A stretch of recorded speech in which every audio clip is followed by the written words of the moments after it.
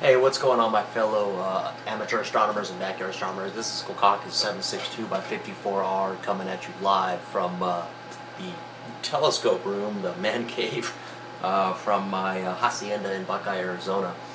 And uh, just wanted to give you guys a quick little heads up. Um, I'm currently on my YouTube page right now. Um, uh, go ahead and processing the Orion Starblast 4.5 inch imaging OTA review. Uh, go ahead and take the time to uh, check that out. It should be ready here pretty soon.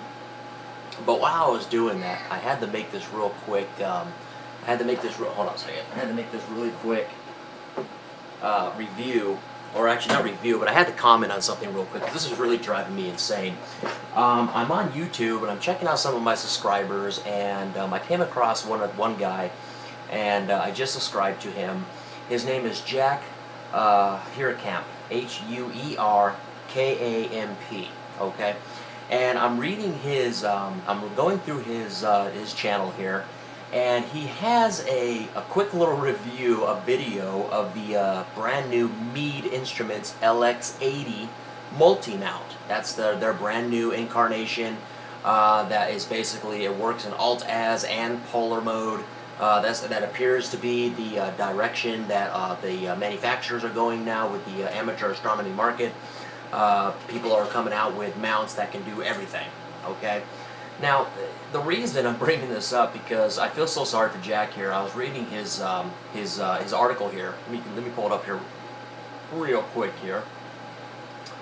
And basically, what he is doing here, um, let's see here. I mean, he's got a lot of he's got a lot of videos. Uh, he's got well over 200 videos, well over 700 views.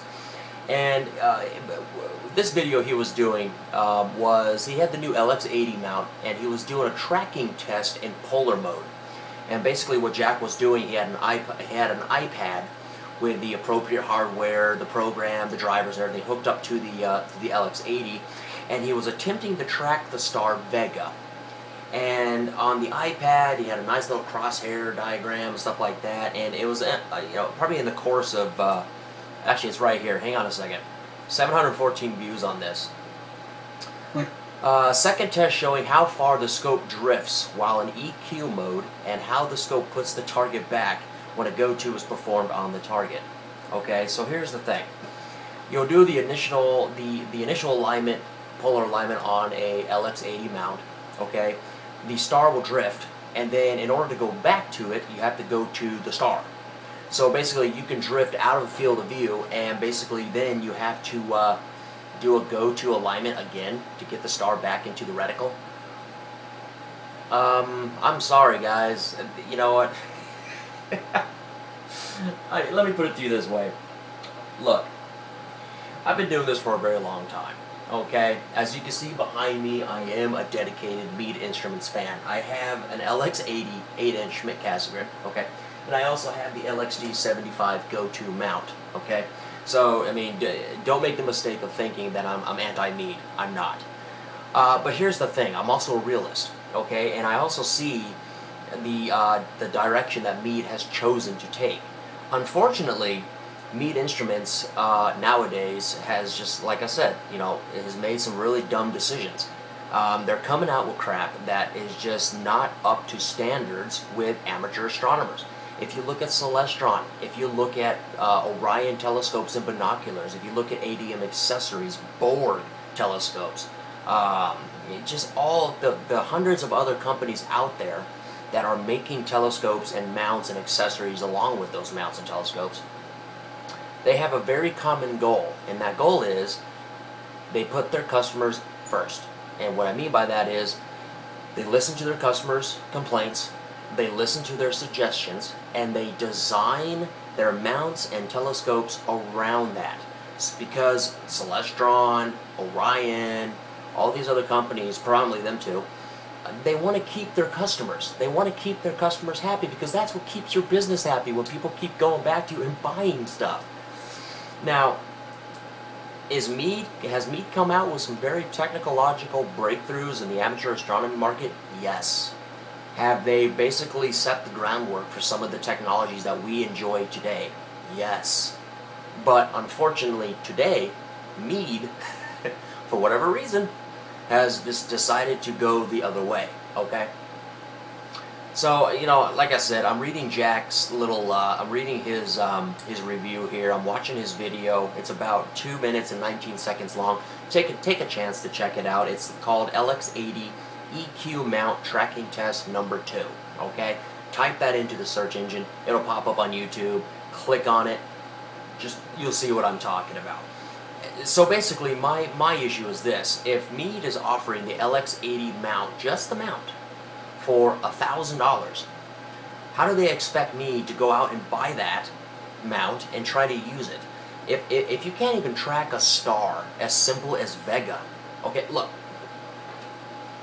my Meade LX, my little LX90 right here, in Alt Az mode will track Vega without breaking a sweat, okay? The LXD75 over here, let me get out of the way. The LXD75 right here, okay?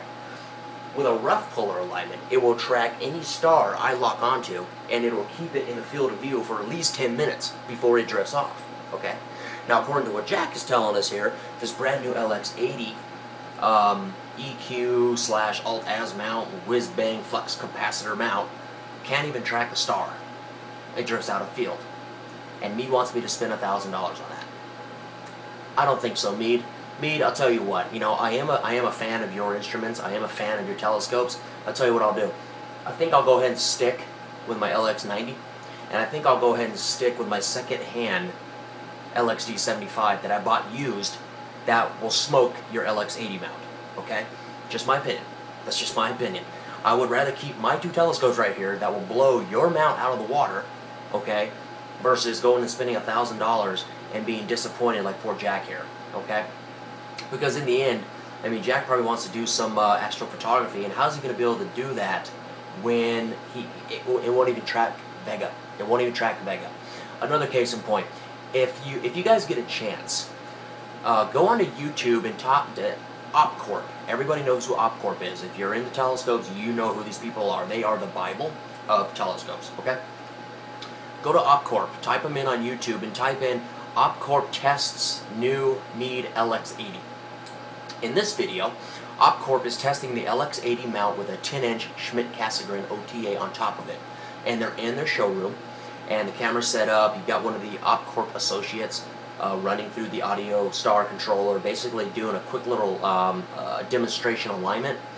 And the power cord that goes into the mount, as it's slewing, it goes The mount was slewing, and the power cord fell out. Wow, a thousand dollar mount and it won't even hold on to the power cord? Are you kidding me, Meade? So, uh, you know, honestly, and uh, you know, I'm not trying to sound biased here, but you know, if, if the LX80 is a thousand dollars plus shipping, if that's not even working, how do you expect me, Meade, to go out there and spend money on your LX600 with your Starlock or your LX800 imaging system with its Starlock that both start at six and eight thousand dollars respectively? No thanks. I, you know, honestly, I like those. I, you know, they're really cool. I think I'll stick with what I got right now. but, you know, anyway. So, like I said, I know I'm, I'm just I'm, I'm doing a little rant right here because it really ticks me off to see customers that are trying to, um, you know, buy good equipment only to get gypped. And that's what's happening right now with Meade Instruments. They are gypping their own customers. And honestly, it's like I've told you. Watch my watch my videos I've made on my page there, you know, what, you know, I'm out back with my LXD75 and I'm offering a little opinion. Listen to what I'm telling you, okay? Meade is slitting their own throat right now. They are rushing out products that don't work. They have not been tested sufficiently, and they are flooding the marketplace with these products. People are buying them, and all it's doing is hurting Meade, because the opinions that the opinions going around the star parties and stuff like that are, stay away from Meade today, because Meade sucks. Meade does not offer a good product. Meade doesn't back up their customers. Case in point, have any of you ever tried to call Meade Instruments customer support? I'm serious. I've done it several times. And let me let me put it to you this way. You will have more luck talking to the IRS with our own government, the Internal Revenue Service, you'll have more luck getting something accomplished through them on the phone than you will with Meade Instruments customer service. Case in point, I had a problem with my LXD 75 about a year and a half ago. I contacted Meade support. I was on hold for an hour and a half. When I finally got through to somebody, they didn't even know what the LXD 75 was. And this person's working for Meade. Really? Like I said, you'll have a better chance dealing with the IRS than you will with Meade customer service. So, again, don't get me wrong. You know, I, me personally, I've already told you guys, I like Meade. I grow, I grow, I have grown up using Meade telescopes. Unfortunately, today, in this day and age, for some reason, Meade telescopes is going down. I don't, I don't know what it is. It, they, they got some really bad decisions coming out of that company. They got some really bad people driving that ship. And if I was Meade, if I was the if I was the president of Meade Telescopes, uh, Meade Instruments Corporation, I would be uh, seriously uh, hauling some people into my office, and I'd be asking, "What in the hell are you people doing with my company?" That's what I would be doing, and I'd be firing people, and I would, I would be taking control of that company and steering it back into its right course because right now the way they're going, they're not going to survive long. I hate to say it, but Meade is either going to go broke, they're going to go bankrupt, or they're going to get bought out because the, some of the decisions they're making right now are just pathetic. And that's just my rant. That's that's all I'm saying.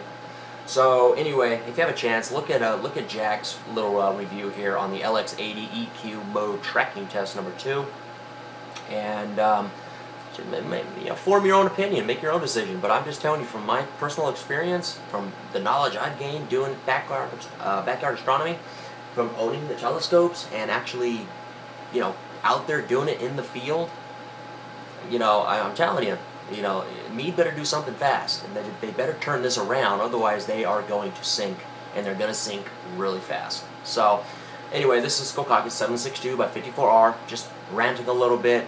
I feel sorry for this guy, and it just it just really, God, it irks me to see people like this that get screwed when they think they got a good mount, and it, it finds out it's junk.